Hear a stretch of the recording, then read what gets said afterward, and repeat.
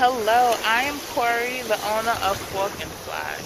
Come and travel and eat with me.